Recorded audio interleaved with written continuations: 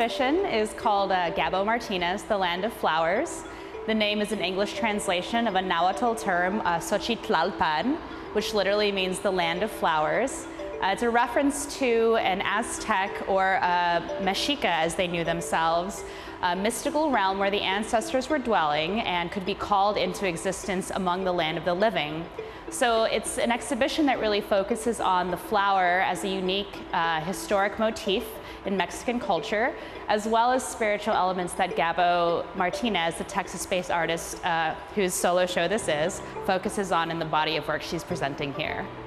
Gabo is combining her interest in research in pre-colonial motifs like the flower um, and also her own personal motifs that she develops through meditative drawing and just series of works that she builds up over time that you can see in her ceramics and her printmaking. Um, in particular, the piece in the center of the gallery propped up in the center of the cinder blocks uh, of the crying eyes is a motif that she developed because um, she wanted to kind of celebrate the virtues of being a bit of a crybaby, or in Spanish, chillona. Gabo does lino cut uh, printing, partially because the linoleum uh, that's used to make these prints is very forgiving as far as cutting goes. And to her, actually, as an artist who works primarily in terracotta or barro rojo, which is a very pliant clay, it mimics some of the abilities that she has to do some of her mark making in a similar way on the lino cuts. So for these, she uses hand cut blocks that she puts on mulberry paper,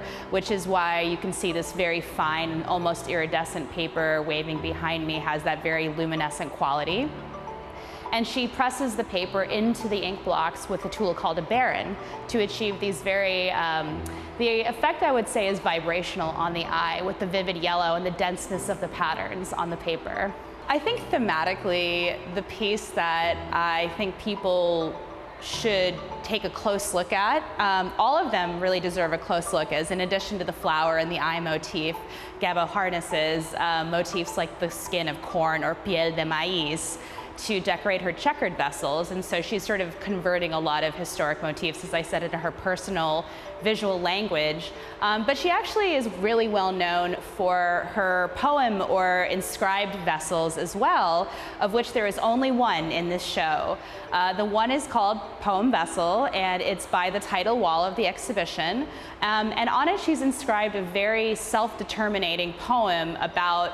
what it means to her to actually call into existence a realm like Xochitlalpan, the land of flowers, and it's by her will and her artistic um, efforts alone that she can actually create the conditions for her to thrive. And it's an important connection to her community work as the founder of the Tepeyac Collective, which is based in San Marcos, which is a group that's really focused on bringing um, attention and needed resources to BIPOC artists in the ceramic field um, and giving them the opportunity to thrive as well. So I would say um, to people, take some time to read that. Um, it's a poem that goes all the way around the vessel and it's a really powerful statement of Gabo's about why she's making the art and her intentions both physically and spiritually when she engages in her craft process.